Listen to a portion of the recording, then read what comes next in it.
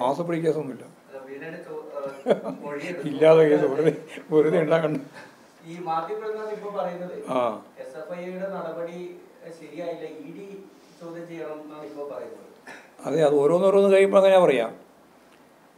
ഞങ്ങളതിലൊക്കെ വളരെ വ്യക്തമായ നിലപാട് മുമ്പേ സ്വീകരിച്ചിട്ടുള്ളതാണ്. കമ്പനികൾ തമ്മിലുള്ള തർക്കവും പ്രശ്നങ്ങളൊന്നും പാർട്ടി എന്ന രീതിയിൽ മറുപടി പറയേണ്ട കാര്യമില്ല.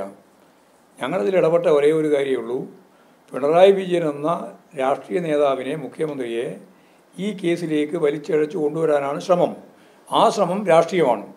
ആ രാഷ്ട്രീയത്തെ അന്നും ഇന്നും നാളെയും ഞങ്ങൾ ഫലപ്രദമായിട്ട് പ്രതിരോധിക്കും. അത്രയേ ഉള്ളൂ കേസൊക്കെ നടക്കുകയോ നടക്കാതിരിക്കുകയോ ഒക്കെ ചെയ്തോട്ടെ അതിന് ഞങ്ങൾക്ക് പ്രശ്നമില്ല.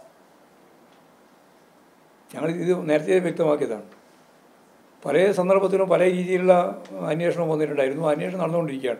പക്ഷേ ഒരു കാര്യം നിങ്ങൾ മനസ്സിലായിക്കോ? മാധ്യമങ്ങളെല്ലാം പറഞ്ഞുകൊണ്ടിരുന്നത് ഈ S F I O case മാർക്സിസ്റ്റുകാരും B J പിക്കാരും കൂടി സന്ധി ഇത് ഏതാണ്ട് അവസാനിച്ചിരിക്കുന്നു എന്നായിരുന്നു വലിയ പ്രചരണം മാധ്യമങ്ങൾ ഉൾപ്പെടെ.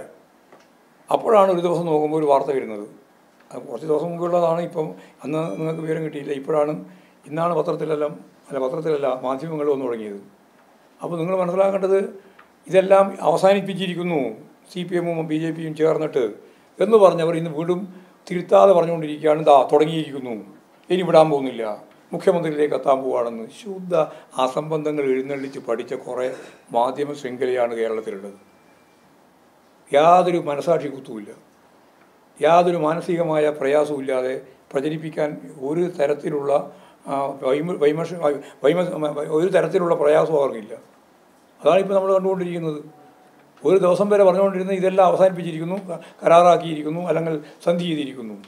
ഇപ്പോൾ പറയുന്നത് സന്ധി ചെയ്തില്ല വരാൻ പോവാണ് പമ്പിച്ച രീതിയിലുള്ള കേസാണ് വരാൻ പോകുന്നത്. ആ കേസ് മുഖ്യമന്ത്രിയിലേക്ക് എത്താൻ പോവാണ് എന്നൊക്കെയാണ് ഇപ്പോൾ പറഞ്ഞുകൊണ്ടിരിക്കുന്നത്. ആദ്യം പറഞ്ഞതും തെറ്റ് ഇപ്പോൾ പറയുന്നതും തെറ്റ്. അത് ഞങ്ങൾക്ക് പ്രശ്നമല്ല.